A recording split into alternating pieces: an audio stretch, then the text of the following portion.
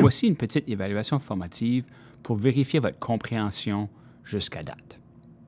Je vais vous demander de faire pause, regarder à la structure du programme et puis déterminer si A, B ou C va être imprimé à l'écran. Après avoir trouvé votre réponse, vous pouvez terminer la vidéo et voir la solution. Solution. Donc ici, ce qu'on regarde à la première condition, if 23 égale 23. Mais ici, on a deux différents types. On a un integer et un string. Donc ceci, c'est faux.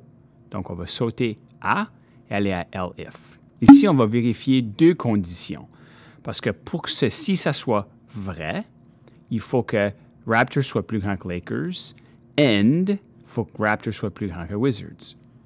si on regarde, Raptors est plus grand que Lakers.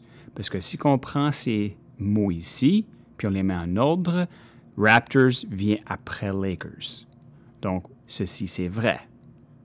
Par contre, ici, Wizards va venir après Raptors. Donc, ceci, c'est faux. Parce que ceci est faux, toute cette expression est fausse.